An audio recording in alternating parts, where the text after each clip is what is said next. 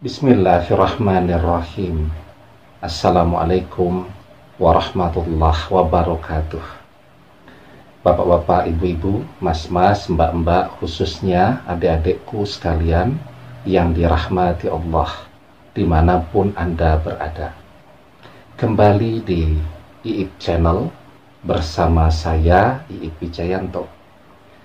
Kali ini kita akan membahas tema mantan sudah menikah atau sudah bertunangan atau sudah ada yang punya bagaimana caranya agar dia bisa kembali kepadamu?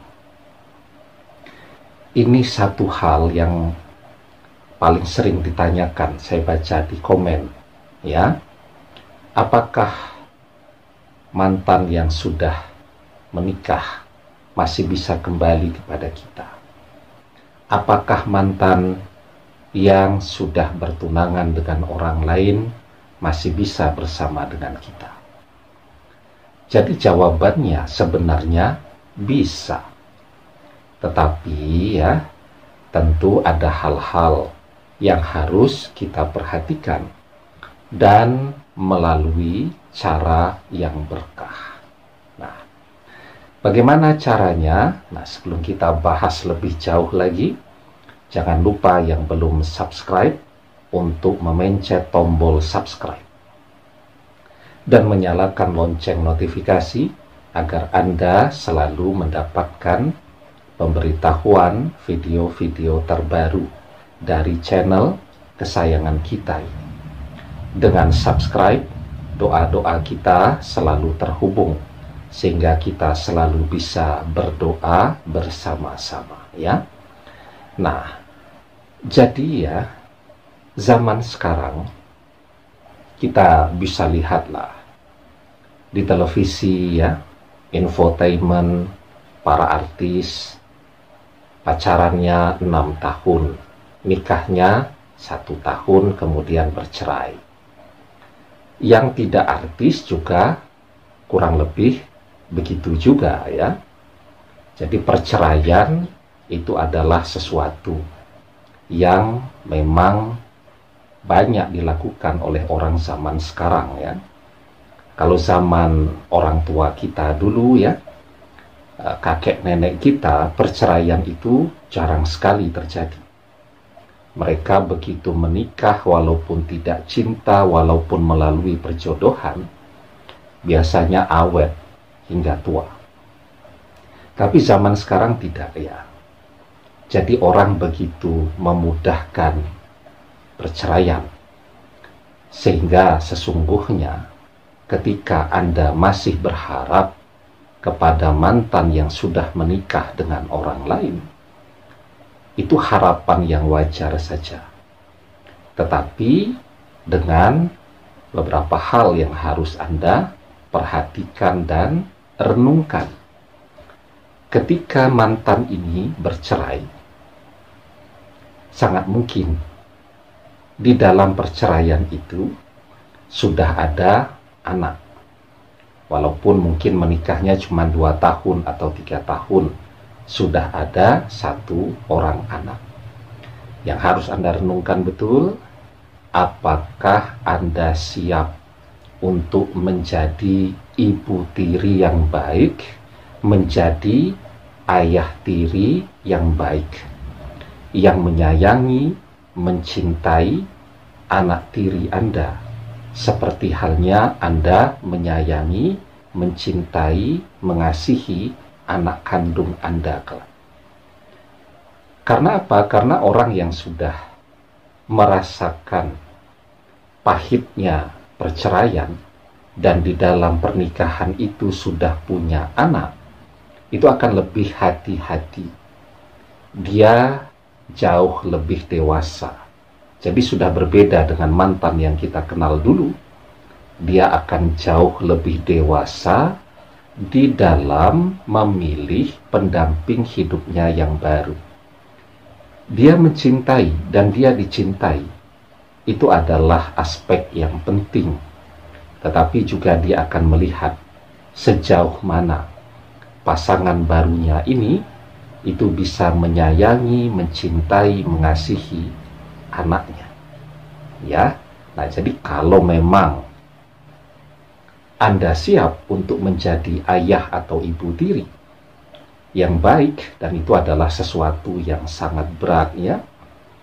Terus menyayangi, merawat ketika anak tiri sedang sakit dengan penuh kasih sayang dan cinta.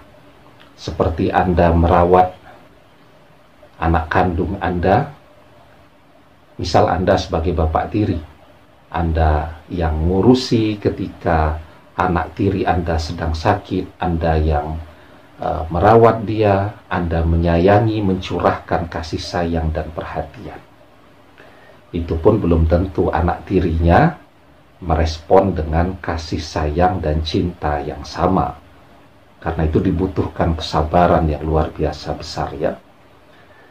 Dan ketika Anda jungkir balik nih, ngurusi anak tiri, sangat mungkin bapak kandungnya sedang asik-asik pacaran dengan wanita lain.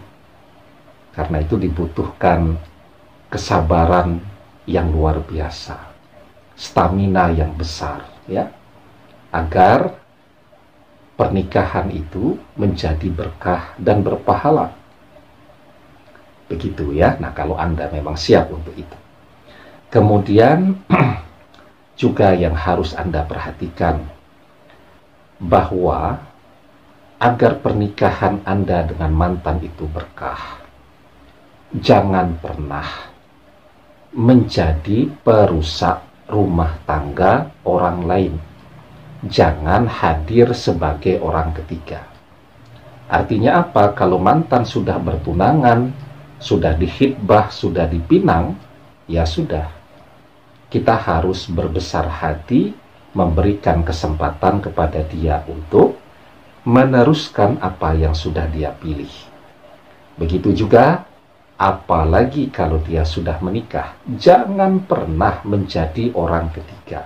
Di dalam rumah tangga mereka walaupun itu mantan kita walaupun mantan direbut dari kita jangan pernah.